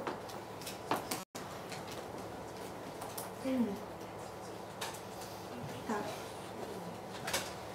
Хорошо. По способу получения энергии. Фототрофа и хемотрофа.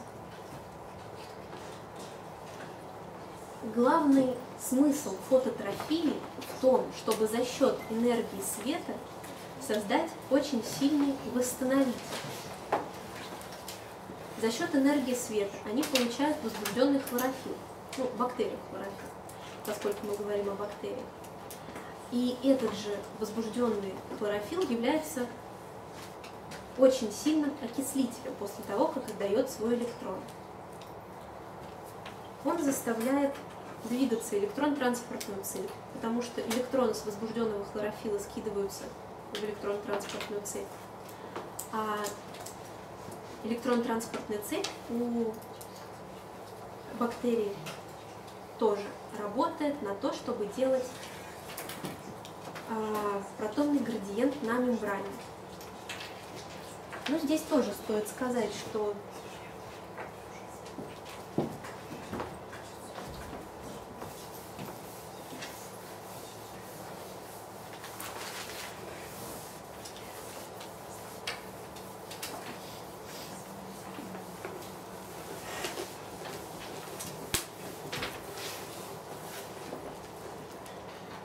Так, картонный градиент.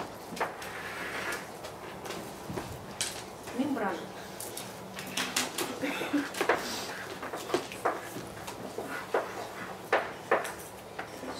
Протоны в некотором количестве находятся и там, и там. Но снаружи мембраны их, конечно, гораздо больше. Поэтому оставим градиент может быть протонным и он дельта муаж.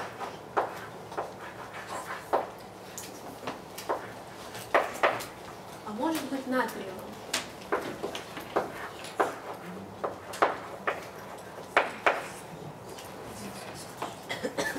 Какие-нибудь бактерии из содовых озер вместо протонов качают натрий. Это им гораздо проще и выгоднее.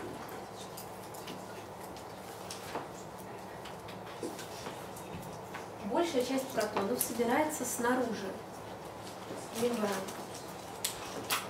Это одна из форм запасания энергии у бактерий. Ну и не только у бактерий, у живых организмов. Если нам необходимо соединение с макроэнергическими связями, другая форма энергии, то у нас начинает работать атеифаза.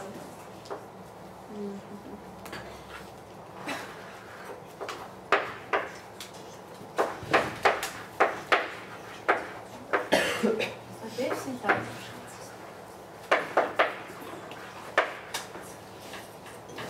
АТФ синтаза наоборот пропускает протоны внутрь клетки, но взамен а, мы получаем из АДФ АТФ.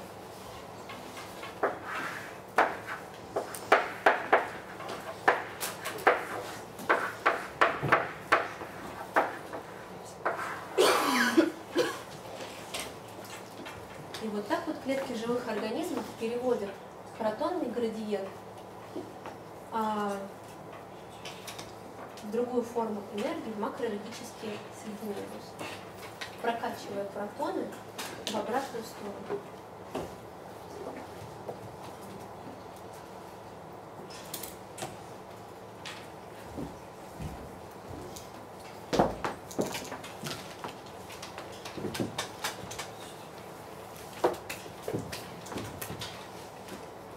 У фотосинтезирующих бактерий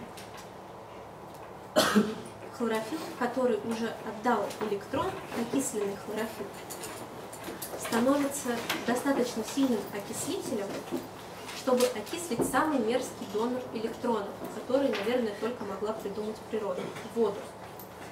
Но вода есть повсюду. И вот это значительный ее плюс. Какие-нибудь сероводород окисляющие бактерии, какие-нибудь металлоокисляющие бактерии. Мы можем их встретить только в определенных узких местообитаниях. В то время растения, цианобактерии, фотосинтетики могут жить практически повсеместно. И это все благодаря тому, что они научились использовать в качестве донора электронов воду, а вода есть везде. А,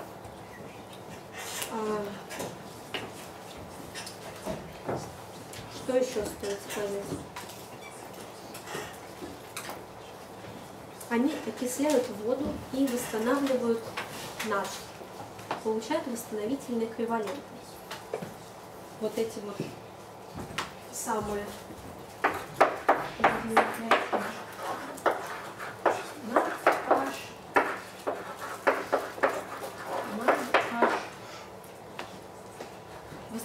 эквиваленты очень нужны. Только что мы видели, что в циклах фиксации углекислоты расходуется ну просто гора этих восстановительных эквивалентов. И вот они, наши несчастные бактерии или растения, фотосинтезируют, мучаются, получают эти восстановительные эквиваленты, а потом их приходится тут же расходовать на фиксацию СО2.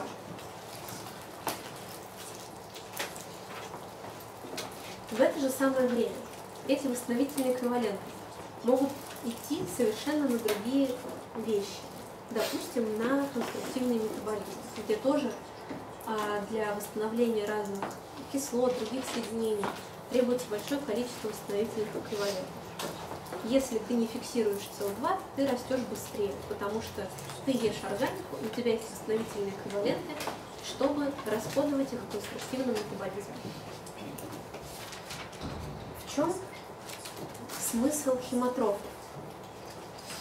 Химатрофы используют соединения, в которых уже запасена энергия. Фактически они э,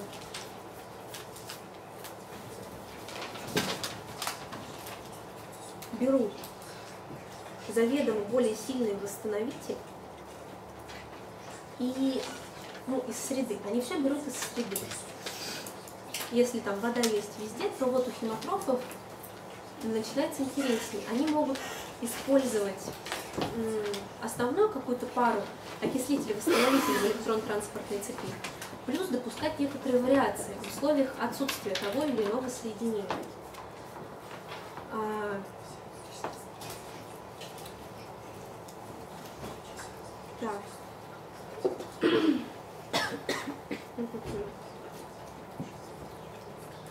Ну вот мы, допустим, используем в качестве восстановителя надфаш. Ну, вот человек дрожжи, а окислитель кислород. И живем только за счет этого. Еще интересно сказать про брожение. А, брожение, по сути, не дает никаких электронов в электрон-транспортную цепь. Это циклический поток.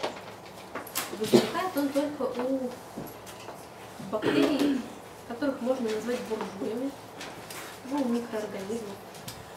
Потому что он возможен только в условиях избытка субстрата. Там нет донора электронов, нет акцептора электронов. Они берут какое-нибудь соединение, ту же самую глюкозу, или еще что-то, где содержатся высокоэнергетические связи. Просто расщепляют их, за счет этого живут. Они не переваривают субстрат до конца. Поэтому у нас существует молочно-кислое брожение, спиртовое брожение, какое-нибудь еще масляно-кислое брожение. Всегда в брожениях, если оно гетероферментное, образуется масса побочных продуктов. Какая-нибудь еще яблочная кислота, лимонная кислота. А все почему? Потому что бродильщики живут в условиях избытка субстрата. По принципу, что не съем, то понадкусывают. Ну вот, допустим, перед бродильщиком лежит корзина вкусных красных яблок. Ну, ну, у меня же так много яблок, зачем я буду их все есть, там еще огрызки какие-то обгрызать? Нет, я вот этот вкусный бачок обкушу, вот этот, или 10 вкусных тортиков. Если у тебя есть 10 вкусных тортиков, то можно просто съесть кремовые розочки, и не заморачиваться, не есть коржи. Также поступают бродильщики. Фактически они используют а, не полностью тот субстрат, на котором они живут.